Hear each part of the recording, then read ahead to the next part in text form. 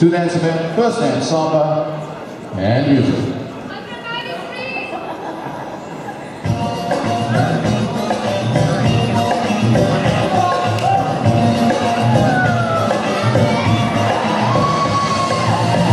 Thank